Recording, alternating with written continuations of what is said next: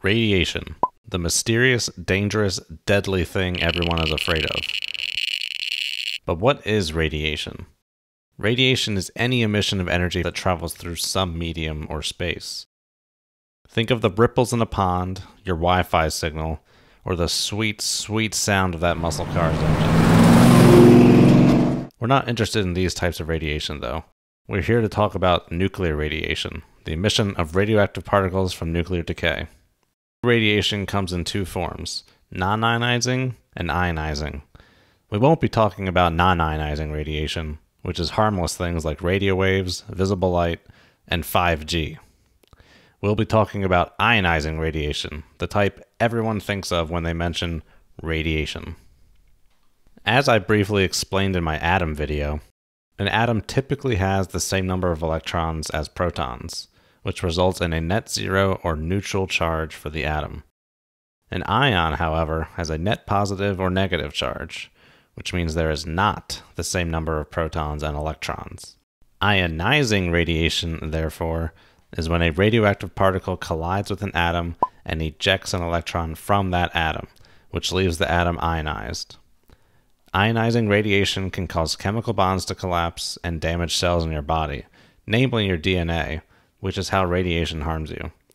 However, that's a topic for another video. Just know that radiation and DNA don't mix. On this channel, the ionizing radiation we care about comes from four types of particles alpha particles, beta particles, photons, and neutrons. These four particles are all quite different in terms of their size, damage to humans, and penetrating power. Let's start with the alpha particle. An alpha particle is essentially a helium atom. It has two protons and two neutrons, just like a helium atom, but no electrons. Alpha particles are released when heavy radioactive elements, such as uranium and plutonium, decay. Although alpha particles are the biggest and most damaging radioactive particle, they are also the least penetrating. This is precisely because of their size and non zero charge. Remember, a helium atom with no electrons. As alpha particles travel through a material, the positive charge of surrounding atomic nuclei push the alpha particle around, greatly reducing its energy, just like how sharp turns in a car lowers its speed.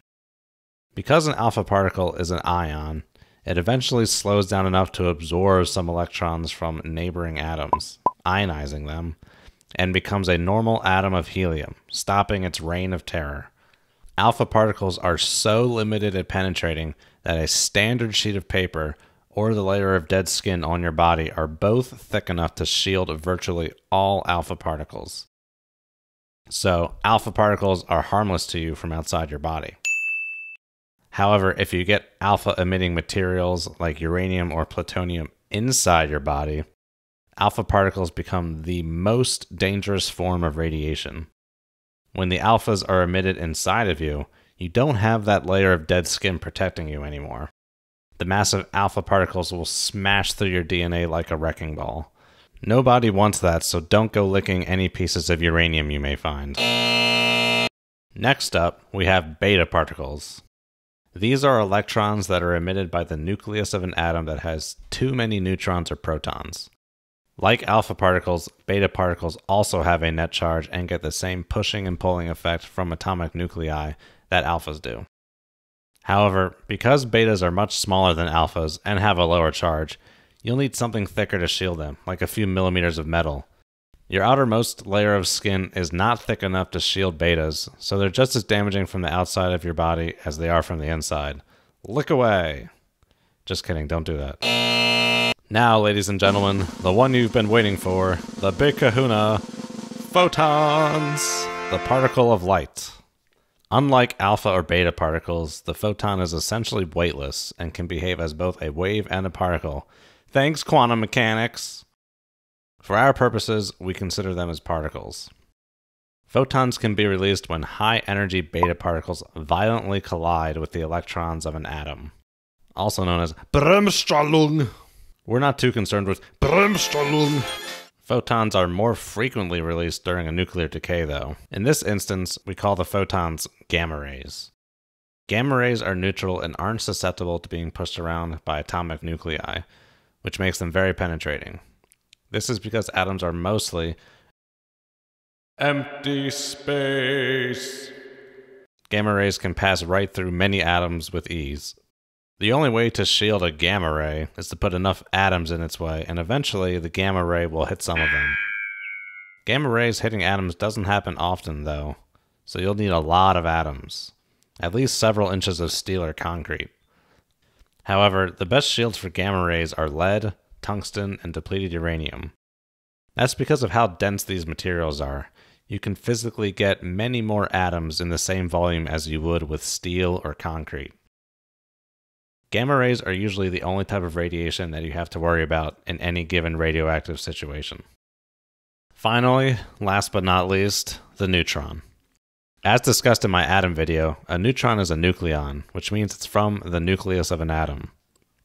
Neutrons are emitted when atoms fission or split, but that's a topic for another video. Like gamma rays, neutrons are neutral, which makes them very penetrating. They also weigh a lot compared to betas and gammas.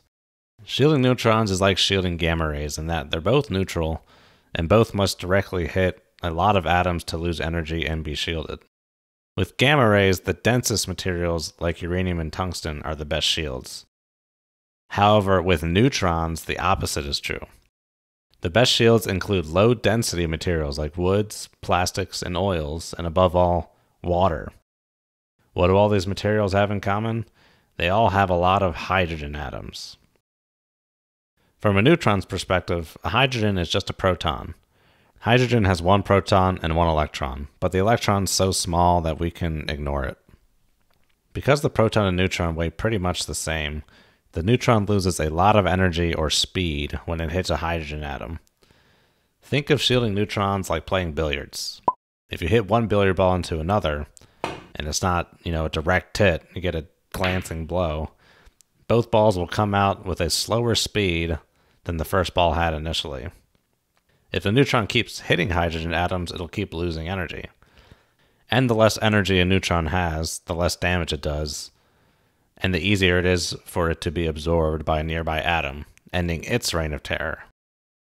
This process of slowing down neutrons is called neutron moderation, and it's important to both effective neutron shielding and nuclear fission, which is a topic for another video. Light elements like hydrogen, helium, lithium, and carbon are all good neutron moderators. The lighter the element, the better it moderates. On the other hand, when neutrons hit an atom of iron or uranium, heavy elements, it's like hitting a rubber ball against a bowling ball.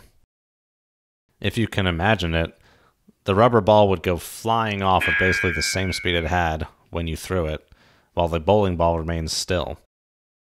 This means heavier elements like iron and uranium are not good at moderating or shielding neutrons. So, where can you find neutron radiation?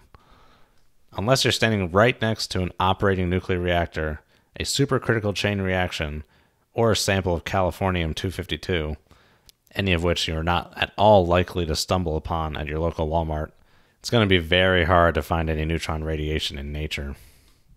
So, to recap, Radiation comes in two forms non ionizing, like visible light, and ionizing, such as alpha, beta, gamma, and neutron radiation. These four types of radiation have different sizes, damage potential to humans, and penetrating power. Alpha particles can be shielded by a piece of paper, are not dangerous to you from the outside, but are the most dangerous from inside your body. Beta particles can be shielded by a few millimeters of metal and are equally damaging from outside or inside your body. Gamma particles must be shielded by a few inches of steel or concrete and are also equally damaging. Neutrons are best shielded by hydrogen containing materials like waters, oils, and plastics and are also equally damaging.